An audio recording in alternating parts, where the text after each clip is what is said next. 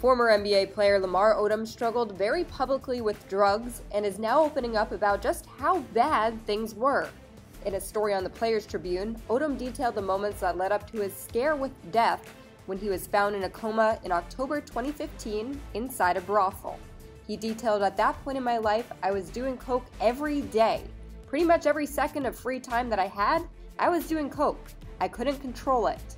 In the article, Odom also touches on his family's struggles, including the death of his mother and son. He also talked about cheating on his then wife, Khloe Kardashian. Odom shared that throughout, his kids are the only thing that kept him going.